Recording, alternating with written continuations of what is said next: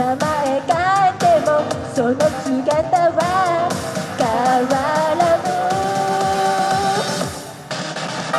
人は答えを求めてから本を開く。役者は